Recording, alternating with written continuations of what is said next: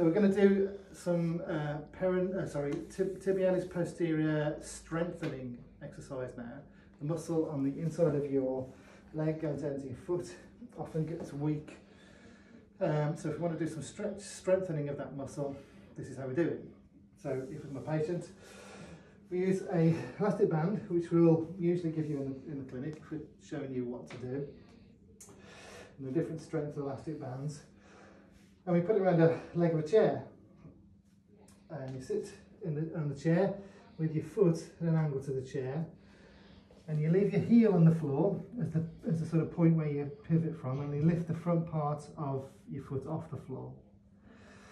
Wrap the elastic band around like this and what we do is we move our foot in and up in like a C shape and then hold it for a count of five and in a slow controlled way, usually at five again, go back to the original position.